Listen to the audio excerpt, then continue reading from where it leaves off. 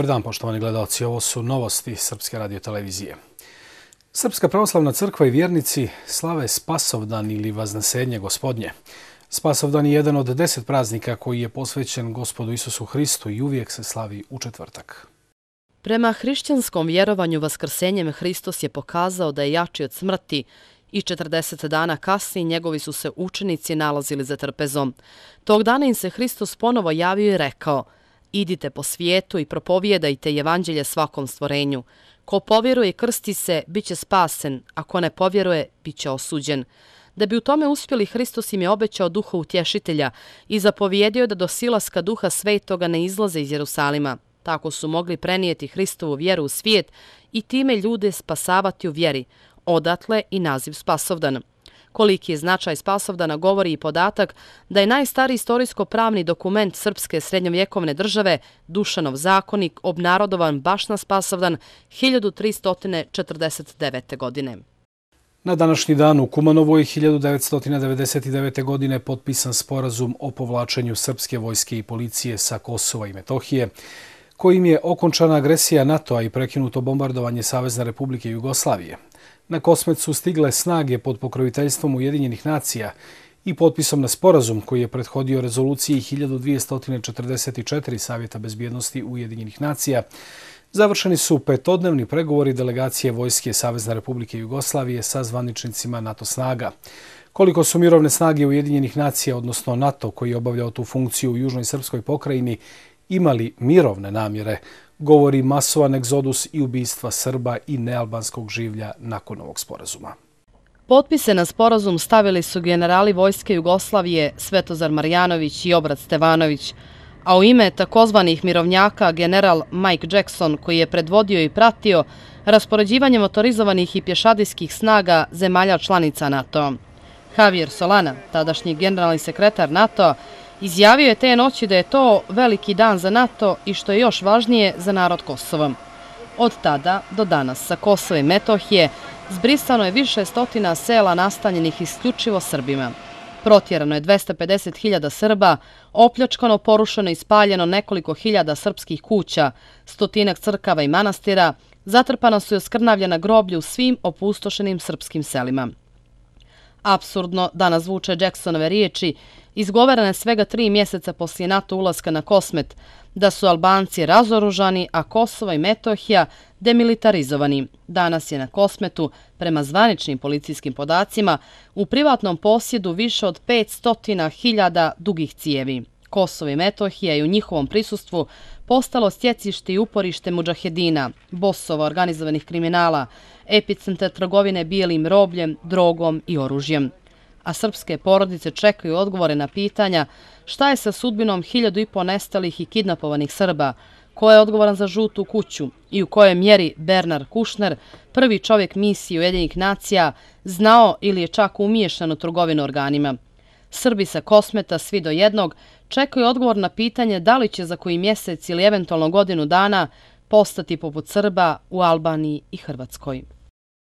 Takozvane kosovske vlasti su navodno obavile sve što se tiče specijalnog suda za ratne zločine, a sada bi trebalo da vlasti Holandije u svoj zakon o specijalnom sudu sa sjedištem u Hagu. Cilj specijalnog suda je da navodno istraži sve detalje izvještaja švajcarskog senatora Dika Martija, koji pominje i trgovinu ljudskim organima Srba sa Kosova. Glavni optuženi su pripadnici bivše takozvane oslobodilačke vojske Kosova. Evropska unija je pri kraju administrativnih radnji za početak rada suda.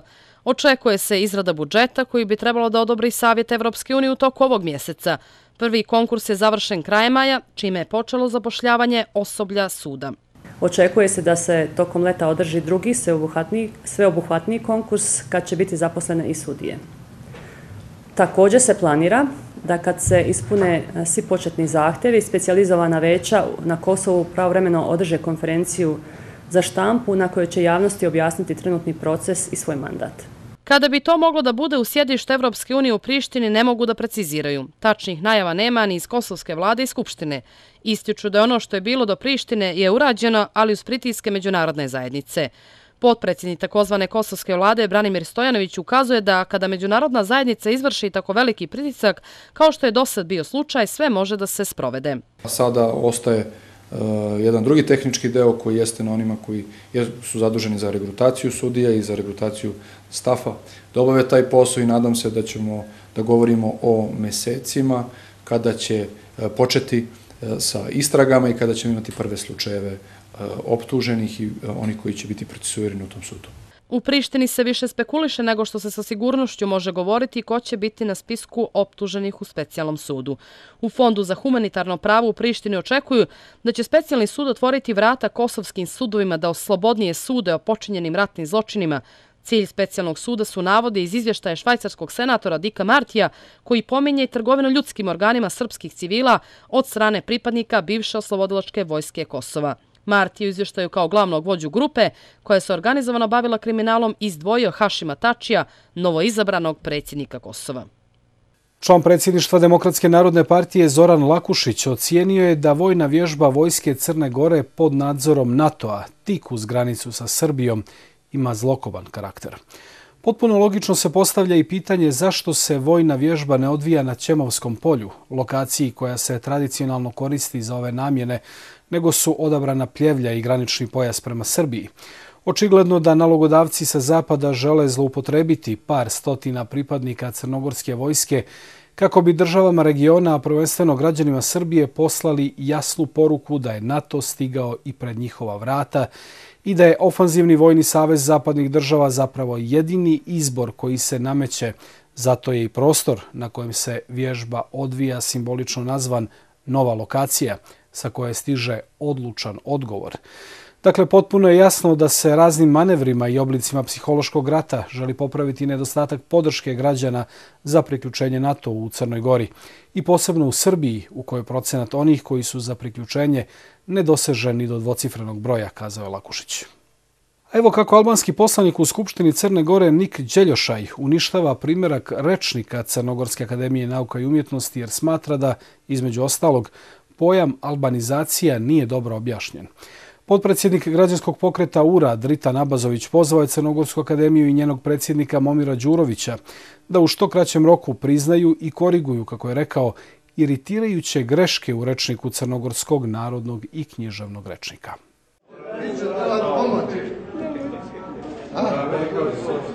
Pridržim to.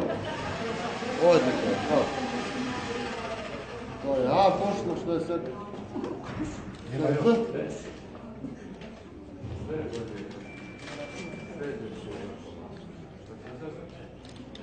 Ugazi malo. Ugazi speglaj. I to je to.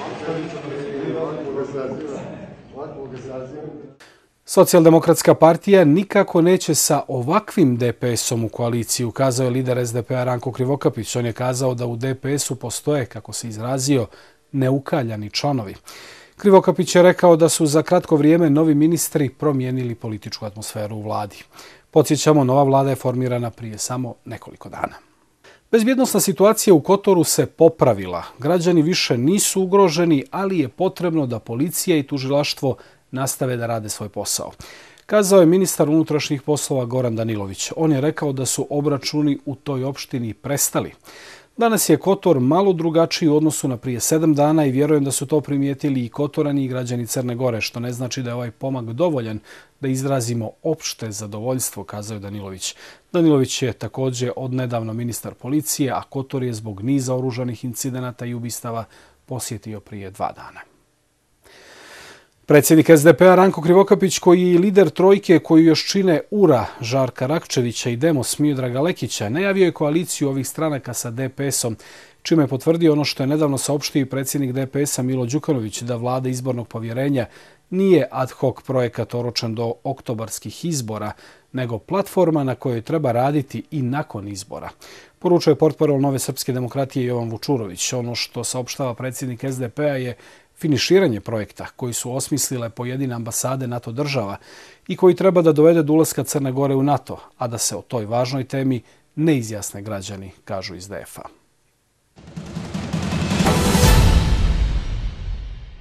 Slijede i vijesti svijeta. Najmanje 25 osoba je poginulo, 70 ranjeno u dva odvojena bombaška napada u Bagdadu, saopštila iračka policija. Na meti napada su se našli vojni punkt i poslovni dio Bagdada. Napadi su se odigrali u vrijeme kada iračke snage pokušavaju da istisnu ekstremiste islamske države iz Faluđe, njihovog uporišta zapadno od Bagdada, prenjeli su agencije.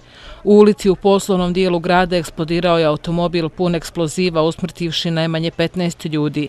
Više od 50 je ranjeno. U sjevernom predgrađu Bagdada napadnut je vojni kontrolni punkt. Bivši britanski ambasador u Siriji u periodu od 2003. do 2006. godine, Peter Ford, rekao je u ekskluzivnom intervju za ruski Russia Today da su Sjedine američke države spremne da de facto postanu saveznik Al-Qaidi, to jest Nusra frontu, u skladu sa njihovom obsesijom da će takozvana umirena opozicija srušiti sirijsku vladu. Američki zahtjev Rusiji da ne ciljaju Al-Qaidu u Alepu ne samo da je nerazuman, on je groteksan. Amerika je opsijena opsjednuta rušenjem Asada do te mjere da je spremna da se ujedini sa svojim velikim neprijateljem gubeći pritom sav moral i praktičku kompetenciju. Možemo da se nadamo da je ovo privremeno stanje gdje će se uskoro ponovno urazumiti, rekao je Ford. Na kraju bivši britanski ambasador u Siriji podvukao je da samo budale mogu vjerovati takozvanim umjerenim pobunjenicima kada kažu da žele nakon rušenja Asada da zadrže sekularnu državu. Turski predsjednik Recep Tayyip Erdogan optužuje njemačke poslanike turskog porijekla da imaju nečistu krv, pošto su podržali rezoluciju kojom se masakr otomanskih snaga nad Jermenima iz 1915. naziva genocidom. Rezoluciju je podržalo 11 njemačkih poslanika turskog porijekla predvođenih pod predsjednikom zelenih Čemom Ezdemirom.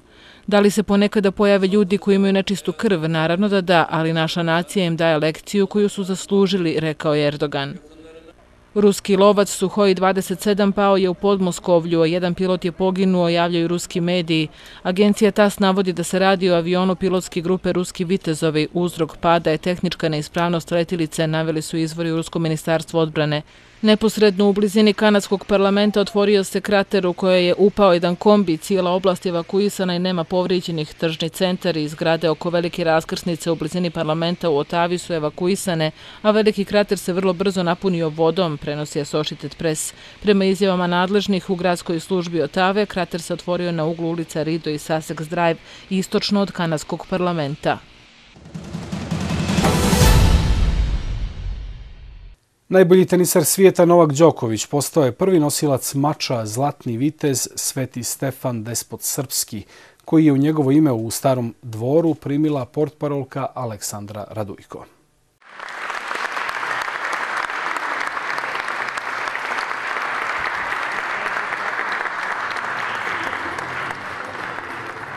Upravni odbor Kraljevskog reda Vitezova je saopštio da je mač namijenjen najvećem savremenom planetarnom srpskom vitezu Novaku Đokoviću. Sa velikim poštovanjem večeras stojim e, ispred vas i sa velikom zahvalnošću e, organizatorima zbog ove veličastene nagrade. Novak, kao što znate, je na kratkom odmoru e, nakon što je pobedio u Parizu i osvojio taj posljednji uh, Grand Slam turnir koji mu je nedostajao. Radujko je objasnila da je Đoković na kratkom odmoru i da mu je veoma žao što nije mogao da prisustuje, kao i da je veoma zahvalan zbog nagrade. Novak vas puno pozdravlja, žao mu je što nije večeras mogao da bude ovde ova nagrada i ovaj mač i sve ono što ste vi večeras pričali uh, Novak zna, mi smo mu to rekli i preneli i zaista je jako zahvalan zbog toga što je večeras dobio ovu nagradu. Ja sam sigurna da ćemo organizovati primopredaju, a do tada neka ovo bude poklon ovog za rođendan i ja ću mu to sigurno prvom prilikom kad ga vidim dati. Mač je uručen na svečanoj spasodoskoj dodjeli priznanja Vitez Festa, a mač je ručni rad kovača Željka Pantića i Smedereva i replike srednjevjekovnog jednoiporučnog mača svetog despoda Stefana Lazarevića sa izgraviranom ornamentikom na oštrici, kožnoj ručki i futroli. Velelepni mač je specijalno iskovan za ovu priliku uz konsultaciju arheologa i stručnjaka za srednjovjekovno oružje. Zamjeni gradonačnika Beograda Andreja Mladenović je prisustao u starom dvoru dodjeli priznanja i zahvalnica Vitez Festa. Na istom događaju Kraljevski red Vitezova uručuje priznanja svim zaslužnim institucijama, pojedincima, učesnicima i partnerima koji su pomogli da se održi Vitez Fest 2016. godine. Ova viteška manifestacija održava se svake godine na praznike Vrbice i Cveti sa blagoslovom Patriarha Srpskog Jerineja, a pod pokroviteljstvom knjegnje Linde Karadžorđević.